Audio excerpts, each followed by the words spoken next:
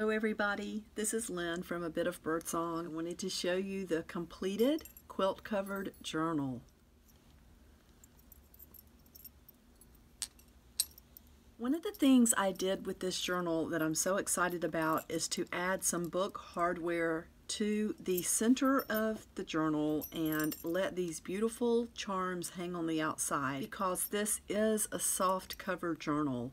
It is just one signature and I wasn't sure how that would turn out. I really, really love it. The journal is big enough to handle it. This is the center of the journal and these are where the little tabs from the brad came through. I laid them down flat and glued this pretty piece of fabric in the center that also always shows me where the center of my journal is. Around the ring I tied three pieces of hemp cord of different lengths and I have just some pretty charms from my desk. This one came from Jay. It says handmade. We have some beads. Karen, thank you for the beads. And I have just a few pretty charms that came from work. My beautiful reuse center in Durham called the Scrap Exchange. You probably remember the front. I sewed on this little cameo. I also added a charm that I really like, green velvet with a rhinestone in the center. The very first page, we tried out alcohol inks. Our moon charm. This page was all about quilt squares. Our beautiful, wonderful Frida Kahlo. That's what this page was about. On this page, we took dark, dark acrylic paint and then lightened it up with white jelly pen and I put some dark spots on mine with alcohol ink. My grandmother, the queen. Three generations. We used a straw on this page to blow the wet alcohol ink across the page. What happens when you stamp on photograph paper and then add inks? And an ink pen. Gold paint, one of my favorites.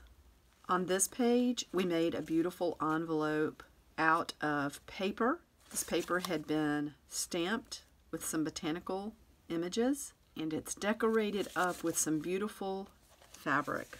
Our mirror image page, paint one side with acrylic paint and then press the pages together, and when you pull them apart, you have a beautiful, beautiful painting our little metal prong fasteners. An attempt at making images look aged. Turned out really pretty. Beautiful layering electrical tape. Nature. We added texture with dried moss. Beautiful images, gold paint, layers of fabric, and burlap collage with a very deliberate laying down of the images with very little overlap. We used flower petals on paper clips, eco pounding, pretty charms. This page was inspired by my cat and we used Sharpie to block out letters we didn't want to use in order to create a statement that we did want to use.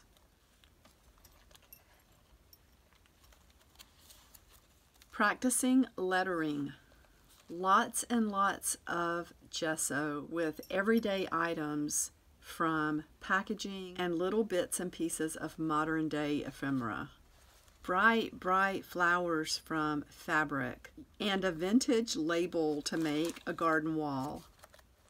Here we are currently, and I wanted to very quickly tell you about this page. I had intended to do a video to show you this processing, but I ended up not having the complete video. I'm not sure what happened to the recording. This is all about being yourself. I have a folder full of pages and quotes and things that inspire me. This doll was in that folder, and when I pulled it out, I thought, you know, she needs to go in this journal, and I need to use the quotation from the artist who did this. Hope Rael Morgan is the doll artist, and I included her name so I can remember who did it. She said, Be yourself. It wasn't until I stopped trying to emulate others that I started making dolls that I loved and was proud of.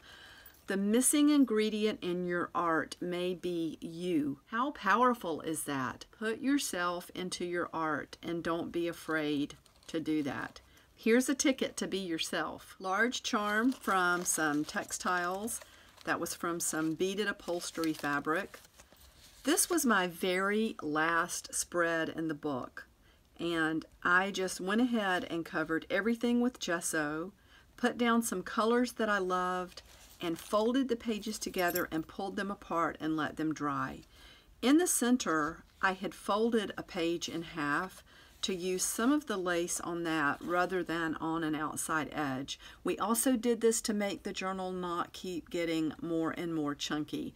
I glued some pages together to cut down on the amount of spreads that we would be doing because the journal is getting wonderfully chunky. This is the way we want it when we're looking at it and holding it, but it can become kind of cumbersome to work in when it's too chunky. So I used one of the Maya Angelou quotations that we had in the kits. When we give cheerfully and accept gratefully, everyone is blessed. I feel like I practice giving cheerfully more consciously than I'm able to accept gratefully. Sometimes it's hard to accept things. We feel undeserving or we feel like it's too much for the giver, but it really does bless the person who wants to give and who wants to share. So I've tried to practice just saying thank you and then paying it forward. And then when we turn to the very back, I have put down some tissue paper over the page that was gray. This was the last page in the book. I love images of old dolls. I love the French dolls, the composite dolls from Europe, just those really old, beautiful dolls. So I included a picture of a doll and I put the end. My journal entry, the very last one for this book, I looked out and found a calendar that is part of a country diary, The Edwardian Lady. This calendar is from 1991. So I did cut out the very center of the front to make a very tall card. And my journal entry for this very last page or entry is a little bit personal, so I'm not going to turn it over, but I wrote that entry on the back of this. This is a card that I found. Um, the artist's name is on the back, Carolyn Bosley, and I love the colors in that. I love, too, that the polka dots tie in right here. So I just put that back in the pocket and it ties together all of the yellow, all of the blue. We have this beautiful piece of fabric from the vintage linen that made the pocket. And that is the entire journal. I can't believe we're done with this. I'm so excited about this. Thank you so much for doing this with me. This has been so much fun. It has been incredible. I've learned so much. I think everyone has learned a little bit about their own art, their own style. I am planning another series, a Journal with Me series. Right now it's on the back burner because this weekend I am doing an art festival and I have to get some things ready for that show. I'm way behind on that. So I'm just so so very happy and so proud to have this Journal with Me series completed. I'm sorry that there were lapses in some of the days, but hey, we got it done. We got the whole thing done. And I just appreciate you so much for supporting me and letting me do this with everybody. Thank you for watching, and I'll see you soon. Bye for now.